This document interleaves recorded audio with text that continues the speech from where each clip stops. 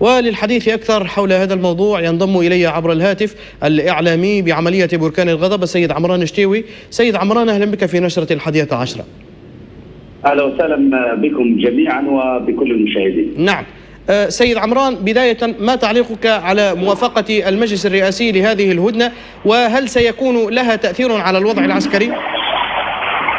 أه، طبعا موافقة المجلس الرئاسي على هذه الهدنة التي دعت إليها بعثة الأمم المتحدة في ليبيا هي أولا أه، القصد منها الجانب الإنساني في هذه الأيام المباركة نعم. أيضا بهدف جعل الكرة في ملعب الطرف الآخر إذا ما التزم بهذه الهدنة وفقا للشروط الأربعة التي ذكرها المجلس المجلس الرئاسي كان بها وإن لم يلتزم سيكون المجلس الرئاسي وقوات بركان الغضب في حل من هذه الهدنة.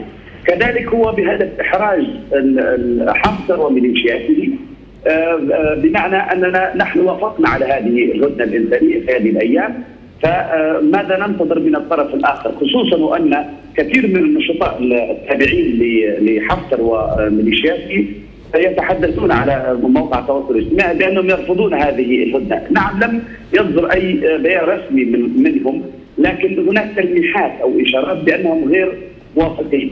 في حال ما وافقت أو وافق الطرف الآخر على على هذه الهدنة والتزم بالشروط التي ذكرها بيان المجلس الرئاسي ستكون هذه الهدنة ساريه المفعول. لكن إلى حد الآن لم نسمع من الطرف الآخر أي شيء.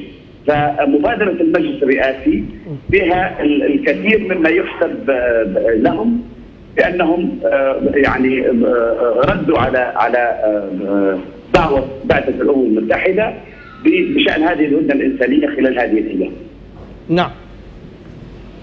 هل هل بدأت هناك أي إجراءات في بدء هذه الهدنة؟ نعم طبعا الهدنة اشتملت على عدة ضوابط يعني نعم.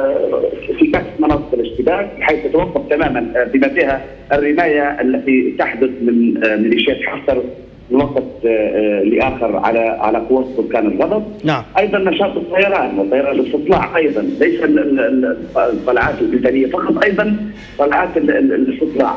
وأيضا عدم استغلال هذه الهدنه لتحرك أي ارسال أو القيام بأي تحشيد هم طبعا يعلمون بأن الطرف الآخر من خلال خبرة سابقة أيام عيد الفطر المبارك لم تلتزم حفتر بالهدنة التي اقترحتها بعثة الأمم المتحدة. نعم. المجلس الرئاسي يعتقد أيضا بأنهم لم يلتزموا أيضا بهذه الهدنة في أيام عيد الأضحى. فدعت أيضا أو المجلس الرئاسي في بيانه دعا بأن تتولى البعثة الأممية للدعم في ليبيا ضمان تنفيذ اتفاق الهدنة ومراقبة أي خروقات، بمعنى أنه في حال حدث أو حدثت أي خروقات من من ميليشيات حفتر فان القوات بركان الغضب ستكون في حل من هذه الشروط ومن هذه الهدنة. نعم. الإعلامي بعملية بركان الغضب السيد عمران الشتيوي كنت معي عبر الهاتف شكرا جزيلا لك